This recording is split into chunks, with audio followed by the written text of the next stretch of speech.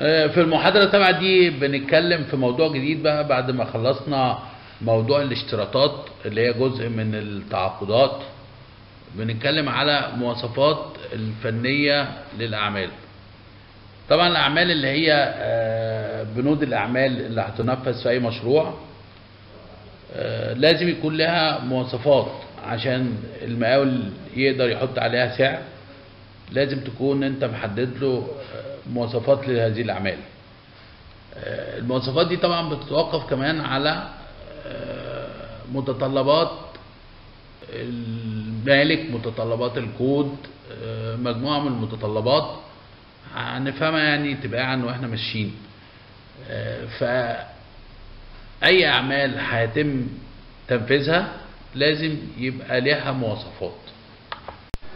كتعريف للمواصفات الفنية للأعمال تعتبر المواصفات الفنية للأعمال أحد الوسائل الفنية التي تستخدم في المشروعات الهندسية لتنفيذ بنود الأعمال ويعتبر الأسلوب اللفظي هو الأساس في وصف خواص المواد المستخدمة كيميائيا أو فيزيائيا أو تحديد نوعية الأعمال المطلوب تنفيذها أو الأسلوب المستخدم أو بمعنى آخر طريقة التنفيذ التي يجب اتباعها لتنفيذ الأعمال يعني إيه الكلام ده؟ يعني آه، المواصفات الفنية للأعمال دي آه، طبعا هي وصف لفظي للبند اللي انت بتحط له مواصفات. بمعنى إن أنا لما أقول خرسانة مسلحة فلازم أكتب باللفظ خرسانة مل- مسلحة مكونة من آه، سن قد كده رملة قد كده مية water cement ratio كمية أسمنت عشان إيه؟ عشان تدي اجهاد يساوي بعد 28 يوم سي مثلا 25 نيوتن على المليمتر square. يبقى أنا كده وصفت مكونات ال- الخلطة الخرسانية دي. طيب هي التوصيف كده بس؟ لا. لو في طرق التنفيذ آه، مهمة في تنفيذ البند بأسلوب فني جيد بمعنى إن لازم أذكر إن الخلط هيكون إزاي؟ خلط ميكانيكي. لازم أذكر إن الشدة ال- ال- ال- الخشبية اللي هي أو العبوات اللي هيترمى فيها الخرسانة دي آه، هتكون مواصفاتها إيه عشان تتحمل آه، الخرسانة اللي هتترمى؟ آه، لازم أوصف الحديد أو أمنشن ليه؟ إنه طبقا للرسومات. آه، التنفيذية. لازم كمان أتكلم عن طرق المعالجة للخرسانة بعد الجفاف. لازم أتكلم على طريقة التنفيذ طريقة الصب طريقة الخلط طريقة ال- التسوية. يعني لازم أوصف البند كله بأسلوب لفظي يبين مكونات وخواص وطرق تنفيذ وطرق اختبار وطرق معالجة. إيه العلاقة بين المواصفات والرسومات؟ هل المواصفات تغني عن الرسومات أو الرسومات تغني عن المواصفات؟ لا.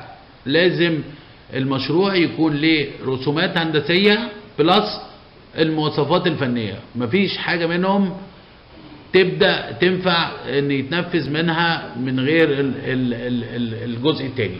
يبقى لو قريت كده هتلاقي إن المواصفات الفنية مكملة للرسومات في فبينما تقوم الرسومات بوضع التصميمات في شكل رسومات تنفيذية كاملة كاملة الأبعاد والمناسيب وبيان مواد النووي المستخدمة وجميع التفاصيل المطلوبة لتنفيذ المبنى والتي لا يمكن كتابتها في المواصفات. يعني في بعض الحاجات ينفع توصفها بالرسومات وفي بعض الحاجات تانية مش هتقدر ترسمها لازم توصفها بالكلام اللفظي. فإن المواصفات تقوم بدو- بدور تكميلي للرسومات المختلفة من خلال شرحها وتوصيفها لبنود الأعمال أو وصفها لمواد البناء المستخدمة وخصائصها الكيميائية والفيزيائية والاختبارات المطلوب إجراءها قبل التوريد أو بعد التوريد. يبقى اللي إحنا هنتعلمه من الفقرة دي إن المشروعات الهندسية لازم يكون مكونة من رسومات هندسية ومواصفات فنية وإن مفيش حاجة منهم تجب آه، أهمية ال- الجزء طبعا المواصفات دي بيكتبها أو بيعدها الاستشاري ولازم بتعد مين اللي هيستخدمها. طبعا آه، المالك بيقراها عشان يحدد هل المواصفات دي بتحقق متطلباته في المشروع ولا لا. يعني ما بنبصش طبعا آه، المالك ممكن يكون آه، مش شرط مالك عادي ممكن يكون هيئة شركة طبعا حد عنده خبرة يعني عنده آه، جهاز فني عنده إدارة هندسية عنده آه، حد يقدر يتفهم المواصفات دي ويتدخل فيها طبعا يرفضها أو يقبلها ي- يعدلها. آه، يعني مثلا على سبيل المثال لو أنت حاطط مواصفات أعمال رخام بأسعار غالية جدا لأنواع جيدة فهو ممكن يشوف إن التكلفة دي هتكون عالية شوية فيتدخل في إنه يقلل آه، نوعية الرخام دي أو مواصفاته آه، حرصا على ال- ال- التكلفة يعني. فالمالك بيكون له دور في قراءة و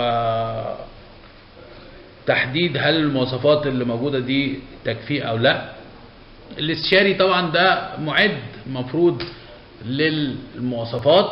المقاول العام ده منوط ليه انه يقراها كويس ويتفهمها عشان دي اللي بيحدد عليها سعر كل بند حسب مواصفاته. مقاول باطن طبعا لأنه متضامن مع المقاول العام في تنفيذ بعض البنود يبقى لازم البنود اللي هيقوم بتنفيذها دي لازم يتفهم المواصفات بتاعتها عشان يقدر ينفذها وعشان يقدر يحط سعر لها. الموردين اللي بيوردوا ال material لازم يتفهموا المواصفات عشان يوردوا material مطابقة للمواصفات وما تكونش مرفوضة ونخسر الوقت ونخسر ثمن المواد أو على الأقل نقلها. لجان التحكيم بتستخدم طبعا المواصفات في حال نشوء أو وجود أي خلاف ما بين جهات الإشراف وجهات التنفيذ على آه، تفسير المواصفات دي آه، لو الموضوع وصل للجان تحكيم فلازم لجان التحكيم دي تتعامل مع المواصفات عشان تشوف هل المقاول قام بتنفيذ آه، المواصفات طبقا لما هو وارد ومكتوب بمعرفة الاستشاري أو آه، آه، ما أمشي بيها على الوجه الأمثل. العناصر المؤثرة على كتابة المواصفات. طبعا آه، العنصر مهم جدا هو عنصر الجودة. آه، ولازم تفهم إن الجودة بتتناسب طرديا مع التكلفة. يعني كل ما الجودة زادت كل ما التكلفة زادت. بس المهم في الموضوع إن أنت توصل بجودة معقولة يتطلبها المشروع. يعني ما تروحش تختار نوعيات بمواصفات عالية جدا في مباني ما تتحملش هذه التكلفة أو مش محتاجين هذه الجودة العالية في المواصفات. وده بيظهر دايما مش في البنود الاعتيادية يعني الخرسانة المباني الكلام ده لا ده بيظهر غالبا في بنود التشطيبات. يعني تكون بتكون عامل منشأ آه، عادي مبنى عادي إداري ولا حاجة. وعايز كل تحط كل الأرضيات بورسلين مثلا بتكلفة عالية جدا. هل المبنى ده لو غيرت من بورسلين ل... ل... ل... لسيراميك هل هتفرق معاه في الاستخدام؟ ممكن ما تفرقش كتير في الاستخدام. لو بعمل مبنى إداري آه، حكومي عادي فساعات بيبقى فيه مغالاة في اختيار المواصفات مما يؤدي إلى ارتفاع التكلفة. يبقى المواصفة دي مش مواصفة عامة كده وإلا الناس كلها هتحط أجود الأنواع كل الناس هتركب عربيات مرسيدس. لا أنت بتحط مواصفة الحاجات اللي على قد آه، الجودة المطلوبة أو على قد الاستخدام أو على قد ال vision. ممكن تكون المبنى ده انت مش عايز تعمل له vision عالي فما تعملوش واجهات رخام وإزاز وحاجات من هذا القبيل. العناصر التي تشملها المواصفات آه، آه، مجموعة من العناصر لازم تبقى موجودة. طبعا مش شرط تكون موجودة كلها. آه، ممكن بعض المواصفات للأشياء ما يكونش فيها عنصر أو اتنين من هذه العناصر. زي ما هنشوف كده تحديد الأبعاد والمقاسات. إن أمكن. أو تريفير الموضوع للرسومات. يعني طبعا لو بتقول مواصفات خرسانة مسلحه مش هتقعد توصف وتكتب كل بعد من أبعاد الخرسانة المسلحه اللي موجودة في المنشأ. ولكن هتقول بالأبعاد الموضحة بالرسومات وزي ما قلنا قبل كده إن الرسومات مكملة للمواصفات والمواصفات مهتممة لل- للرسومات. يعني الاثنين جزء لا يتجزأ. لكن لو طبعا بتقول آه، مواصفات لحوض مثلا فأنت بتقول أبعاد الحوض لأن دي أبعاد موجودة وغالبا مش هتكون موجودة على الرسومات بأبعادها. وهكذا. تحديد النوعيات كلما أمكن. الشكل النهائي المظهر الأسلوب والمقصود به أسلوب التنفيذ وأسلوب التثبيت أسلوب التشغيل. يعني الأسلوب اللي ممكن آه، هيتعمل بيه الدقة. في بعض الحاجات لها دقة اللي هي التفاوتات. يعني أنت لما تستلم آه، البنود دي هتوافق بدقة دي. يعني طبعا م- مش كل حاجة ينفع هتكون 100% exact يعني مثلا لو أنت بتستلم آه، آه، شدة خشبية المواصفات بتحدد بعض التفاوتات. المسموح بيها يعني في نسب مسموح بيها للدقة. طبعا زي ما خدت في المساحة كده إن مفيش حاجة في الدنيا 100% دقة. لازم يبقى في تفاوتات plus أو minus كذا. ودي بينص عليه دايما آه، التفاوتات دي موجودة في المواصفات آه، منصوص عليها إن نقدر في أنواع مختلفة من الأعمال يكون التفاوتات طرق كتابة المواصفات. في أربع طرق لكتابة المواصفات. آه، كل طريقة بتتماشى مع أنواع معينة من بنود الأعمال. آه، زي ما هنشوف لما نوصف الطرق دي ون- وندي أمثلة عليها هت- هتعرف إن المقايسه وهي مكتوبة ممكن تكون كل بند منها مكتوبة بطريقة مختلف مختلفة من الطرق دي. تبعا لشكل البند زي ما هنشوف كده إيه الطرق دي في ال- الشرائح و- وازاي كل طريقة تتماشى مع بنود بطبيعة م- آه، الطريقة التفصيلية الطريقة التفصيلية دي آه، بتوصف البند بالنقط النقاط اللي قدام حضرتك دي كلها الأبعاد والمقاييس النوعية الشكل النهائي والمظهر واللون التنفيذ والتصنيع التركيب والنقل والاختبارات. ودي طريقة غالبا تتماشى مع الأعمال الاعتيادية زي الخرسانة والمباني والحفر و- و- والأعمال اللي ما شابه يعني. دي بتتكلم على الأبعاد والمقاييس وأحيانا بتريفير في الكتابة إلى ان إنك تكتب إنها طبقا للرسومات لأن طبعا أما تيجي تعمل مواصفات لخرسانة مش معقول هتقول كل أبعاد آه، عنصر في الخرسانة يعني مش أبعاد الكاميرات أبعاد البلاطات أو أبعاد القواعد أو ابعاد إيه، لا هتقول طبقا لابعاد الرسومات. النوعية طبعا هت هتتكلم عن نوعية المواد المستخدمة ومكوناتها الشكل النهائي. هتتكلم على الأسطح النهائية للخرسانة والمباني والحاجات دي. طريقة التنفيذ والتصنيع هتتكلم عن خطوات التنفيذ والتصنيع. هل الخلط هيكون ميكانيكي؟ هل الخرسانة هتكون جاهزة؟ هل آه، إيه اللي أنت محتاجه في المواصفة؟ التركيب والنقل يعني هتصب إزاي وهتتنقل إزاي والاختبارات هتستلم ال- الحاجات دي إزاي وبكواليتي قد الطريقة التانية طريقة تحديد النتائج النهائية آه، تحديد الهدف المطلوب الوصول إليه من الأعمال. ممكن تكتب المواصفات بالطريقة دي. آه، مثال اللي إحنا قايلينه قبل كده بالطريقة التفصيلية ممكن تكتبه بطريقة الناتج النهائي إزاي؟ لو أنت بتعمل مواصفات لخرسانة مسلحة مثلا أو خرسانة آه، عايز توصل لها نتيجة ما مثلا وليكن الإجهاد بتاعها 40 كيلو نيوتن على المليمتر square فممكن تقول له المطلوب تنفيذ أعمال خرسانة مسلحة بحيث تعطي إجهاد كسر آه، 40 كيلو نيوتن على المليمتر square. بعد 28 يوم. وتسيب له المكونات هو يحاول يعمل خلطات خرسانية مختلفة واختبارات يعني يصمم خلطة خرسانية عشان يوصل للإجهاد المطلوب. ويمكن الطريقة دي تكون في بعض الأحيان أحسن نتيجة لأن أنت لو كتبت له مكونات معينة والمكونات دي ما جابتش الإجهاد فهو هيلزمك إن الإجهاد ما جايش نتيجة إنه استخدم المعلومات اللي أنت عطاها له. لكن أنت لما تلزمه بإجهاد هو يروح يسعى لأنه يوصل للإجهاد ده بإضافات بمكونات مختلفة. المهم يعمل design ل concrete mix يوصلك للنتيجة.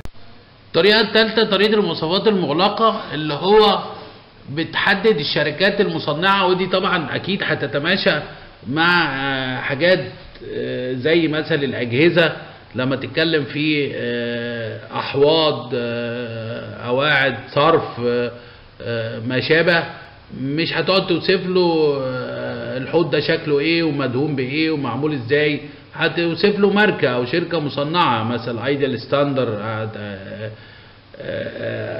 ايا كان آه، نوع آه، من شركات بتصنع. ما تتكلم مثلا عن أجهزة تكييف هتكتب شارب هتكتب آه، آه، أي شركة مصنعة لل آه، دي ومش هتخش في مواصفاتها. انت هتكتب آه، عن ماركة محددة. الطريقة الرابعة لكتابة المواصفات هي طريقة المراجع إن أنت تعمل ريفير لمواصفات موجودة في آه، آه، أكواد معينة. يعني تقول مثلا المواصفات القياسية السعودية المواصفات مواصفات الآلة الع- العالمية للتوحيد القياسي مواصفات الجمعية الأمريكية لاختبار المواد مواصفات المعهد البريطاني القياسي مواصفات المعهد الألماني للتوحيد القياسي مواصفات المصرية. يعني تريفير آه، الكلام بتاع المواصفات بتاعتك لأي مرجع من المراجع اللي أنت شايفه يتماشى مع المبنى اللي أنت أقسام المواصفات الفنية إيه، طبعا المواصفات بتت- بتتقسم لأقسام حسب التخصصات المختلفة اللي هتكون موجودة في المبنى. فمثلا اشهر التقسيمات بتكون المواصفات ال- الفنية للأعمال الاعتيادية والمقصود بالأعمال الاعتيادية آه، أعمال المدني بقى بتاعتنا. أعمال الحفر والردم الخرسانة العادية الخرسانة المسلحة أعمال المباني أعمال العزل أعمال البياض أعمال التكسيات أعمال الدهانات أعمال الأرضيات وأعمال أخرى كلها في هذا الشكل من الأعمال اللي هي الأعمال ال- الإنشائية يعني. الجزء الثاني من المواصفات بيكون الأعمال الصحية والأعمال الصحية دي في أعمال خارجية طبعا آه، الإمدادات بالصرف الصحي والتغذية للمبنى امدادات مواسير للصرف الصحي والتغذية للمبنى وفي أعمال داخلية اللي هي أعمال التأسيس والتركيب للحمامات والمطابخ وما شابه. الجزء الثالث للأعمال الأعمال ال- الكهروميكانيكية. يعني ده طبعا مش تخصصنا لكن بيبقى موجود جزء في المبنى أعمال الكهرباء وأعمال الميكانيكا والتكييف زي الاسانسيرات و- و- وال ventilation واي اعمال ميكانيكية ممكن تكون موجودة في المبنى.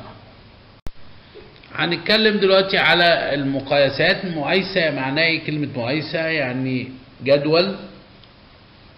في بنود الأعمال وتوصيف خفيف لها لأن التوصيف الكامل الشامل هيبقى في كراسة المواصفات. الخانة التانية قدامها في الوحدة يعني إيه الوحدة؟ يعني البند ده وحداته إيه؟ بالمتر مسطح بالمتر مكعب بالمتر الطولي هنشوف الوحدات دي قدام دلوقتي. وبعد كده في السعر اللي هيحطوا المقاول أو لو كانت تقديرية الاستشاري بيحسبه عشان يقدر يعرف رقم تقديري لتكلفة البند.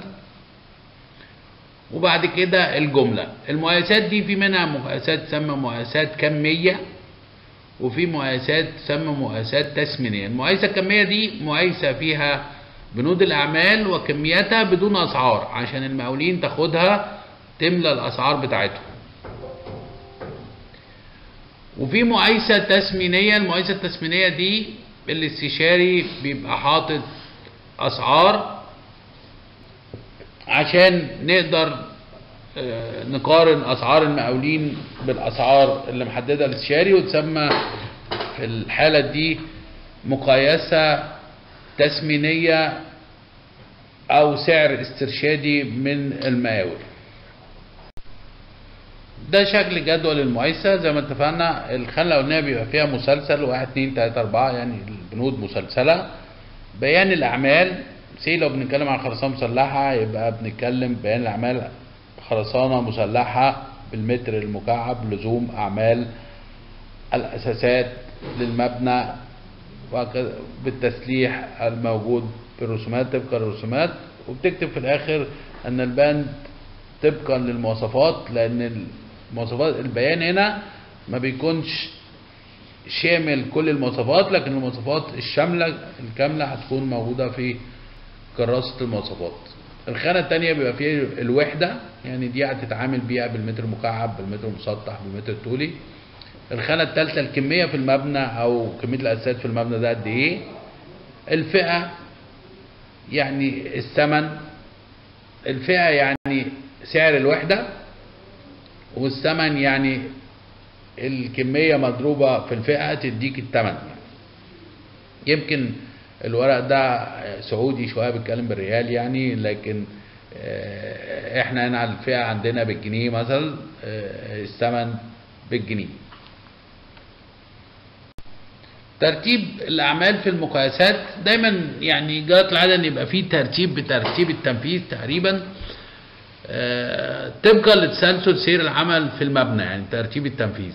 يبقى في البداية بتبقى الأعمال التي تقاس بالمتر مكعب الأعمال التي تقاس بالمتر مسطح الأعمال التي تقاس بالمتر الطولي يعني الأول ترتيب لسير العمل يعني يعني لو مسكنا الترتيب الأولاني هنتكلم على الحفر. أي مبنى غالبا بيبدأ بالحفر. وبعدين تنفيذ الأساسات لو في طبقة إحلال طبقة عادية طبقة مسلحة. آه، وبعدين آه، بعديها المباني أو قبليها العزل وبعديها المباني يعني تسلسل تنفيذ المشروع.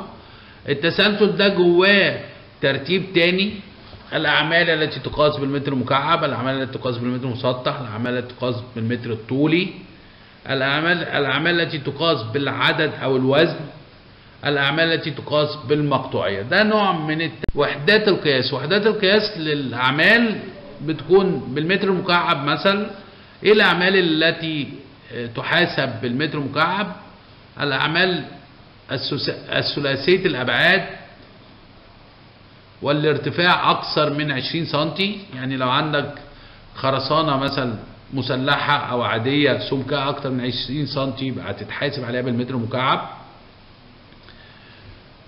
الحقيقة مش ثلاثي مش آه، الارتفاع أكثر من 20 سنتي بس بالمتر مكعب. ممكن تكون أقل وتتعامل بالمتر المكعب زي البلاطات العادية في المباني السمك 12 سنتي 14 سنتي برضو بتتحاسب بالمتر الم- المكعب. طالما معاها بلاطات معاها البلاطات دي معاها كمرات ومعاها أسقف كاملة يعني تتعامل بالمتر مكعب في أعمال بتتعامل بالمتر مسطح الأعمال ذات مساحات زي الأرضيات الدهانات البياض بيتعامل بالمتر مسطح في حاجات بتتعامل بالمتر الطولي. الأعمال ذات الأطوال مواسير التغذية والصرف وزارات البلاط اللي هي السقلهات اللي بتتحط مع البلاط درج السلم هندريلات السلالم لو معمولة من الألمتال ولا من الكريتال الحديد أو الحاجات دي. في حاجات بتتعامل بالعدد. طبعا الأعداد الأعمال التكرارية زي الأبواب والشبابيك و والمفاتيح الكهرباء وما شابه من الحاجات دي اللي بتتعد تكون وحدة القياس لها العدد.